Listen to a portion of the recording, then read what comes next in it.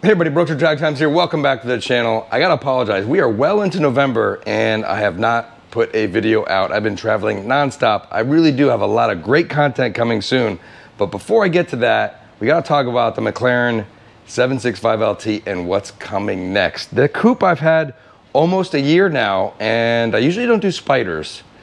But in this case, I've decided to go ahead and order a 765 LT Spider. In this video, I'm gonna go over the two spec options that I met with MSO on. And uh, after this video, I'll have to decide what I'm going with. So with the 765 LT Spider, McLaren's doing something new. Well, new for me. So I actually had a Zoom session with uh, some McLaren folks overseas and uh, my representatives from McLaren Palm Beach.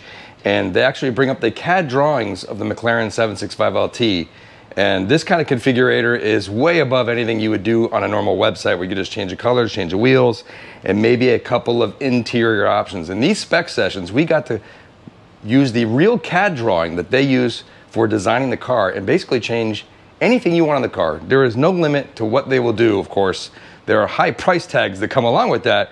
But in this video, I'm gonna go over my two specs that I'm thinking about going with the replacing the 765 LT Coupe with the 765 LT Spider. Now, this is my first green car and my first inclination was to keep the same color and go with green again, but raise the spec quite a bit because I do believe I'm gonna have the 765 LT Spider a lot longer than I had this car. This car will probably have about a year before I move on to the Spider, but the 765 LT Spider is gonna be the last of the kind of non-hybrid McLarens, and I think it's gonna be the one to keep for a really, really long time. So that's why I'm going a little heavier spec than I normally do. As you saw in previous video with this car, the only options I really did that cost money were the color, the Napier Green, which is about $9,000, um, the wheels didn't cost anything. And then I think the only other thing I did on this car that actually paid for was this kind of moderate interior uh, modification on the stitching. So these are the P1 McLaren seats uh, with some green stitching. That was about $5,700. And uh, you know, the total sticker price of this car came out to about 380 $1,000. Now the Spider starts quite a bit higher than that at about 20,000.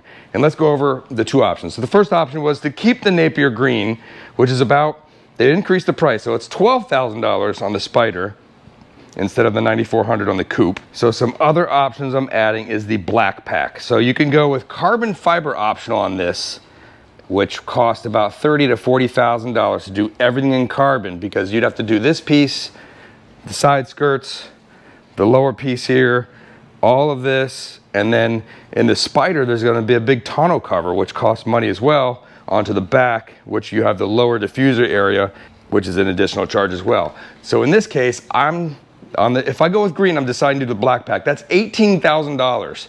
And what that does is it paints all the gray pieces you see on the car black, which I think I've seen it on other cars and it looks really, really awesome. So $18,000 for the black pack. And of course, you know how I like the diamond cut wheels. There is a new style of wheel that comes on the Spider, which is a super or ultra lightweight, which is a little bit lighter, costs about $4,500.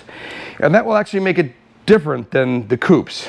So I wanted the fresher newer wheel design and it's also lighter. I'll put a picture up here of what the new wheels look like and those are going to be uh, diamond cut as well. Now onto the interior of the car. This is where, you know, I spent quite a bit more than I'm used to.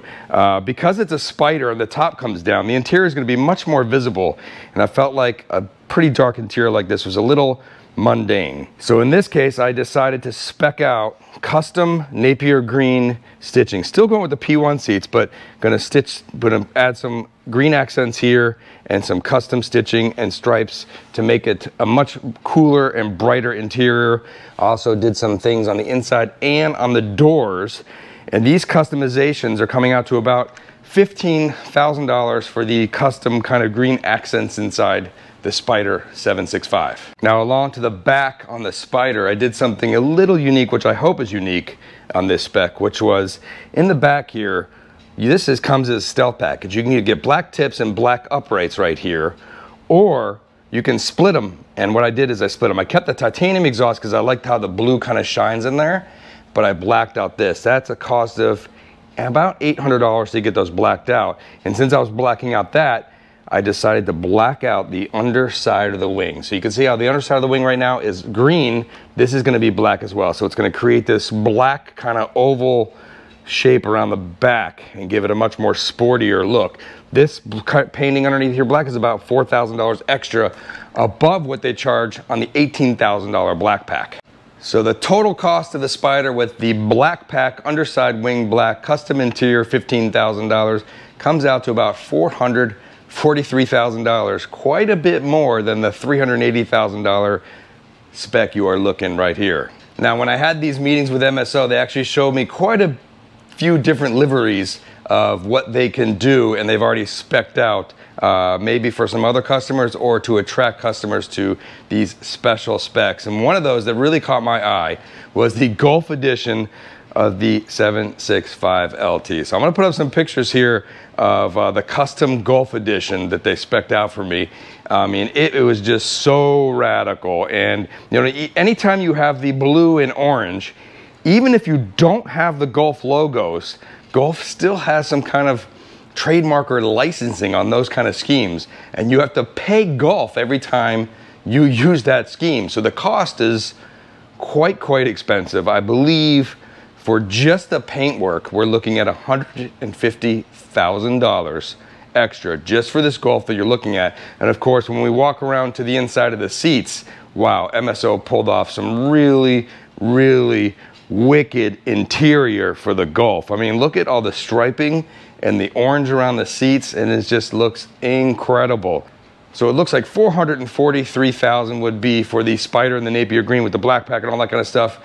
And if you add up what the options were coming on for the Gulf Edition, we're looking at about $200,000 above the sticker. So I think we're probably approaching around the $600,000 mark for the Gulf Edition. And I did ask, I'm like, how many people have ordered this already? Now they wouldn't tell me, but they did say that, uh, you know, even though if I ordered the Gulf, it would not be unique. So there's definitely going to be, before I spec mine out and make a decision between Gulf and Napier Green, some other Gulf editions out there. So the fact that it's not that unique is taking a little bit away. Of course, you know, I'm sure other people will order green, but again, again, I'm not spending $600,000 either. All right, so drop in the comments. I'm gonna put pictures up of both. What do you think? Napier Green 765 LT Spider or Gulf Edition? Drop your comments below. I'm definitely leaning towards the green, but the Gulf is still kind of stuck in my mind as an option that would be definitely different addition to my garage and something that you probably will not see out there. Now, before I leave you, I'm gonna leave you with some previews because I do have some crazy content coming up. We did a rematch of the 765 and the Ferrari SF90 Stradale. We put Toyo tires on the back of the 765, and I have to say, this was probably one of the closest races we've ever done. I'll put a little preview up, and you drop in the comments down below who do you think won 765 versus SF90? I also did the rematch of the 765 LT versus the Plaid, also on the Toyo tires. And I will put a preview of that up as well. And you can drop a who do you think won. I wish I could get these videos out sooner. It takes a lot of editing time and I've just been traveling too much. I'm also going to leave you with some draggy testing. I've always wanted to test the McLaren 765 LT in the half mile. And uh, I finally got a chance to do that. The weather's not great. It's a little cooler than normal. I put the Toyo tires in the back and was going for the best time I could get on the street. Unfortunately, as you see, it's still spinning. I think the Toyos may be a little bit old for hooking on the street. And I gotta say, one mistake I did make, you'll notice, is that um, since the Toyo tire is a little taller, it messes with the gearing and that throws off the speedometer. So although what you see in the video is impressive for a half mile, I do believe I needed to stretch it out a little longer and probably would have gotten a little faster speeds down the half mile. So you will see the draggy tests half mile 765 LT as well. So I wanted to get this video out soon about the spec of the 765, preview of the races because honestly I might have to sell the 765 soon uh, to prepare for this spider. As always, thanks for watching. If you enjoyed this video, hit the thumbs up, helps the video and the channel. And if you want to see these races that we got coming, SF90, 765, and Plaid, make sure you're subscribed so you'll be notified. Thanks for watching.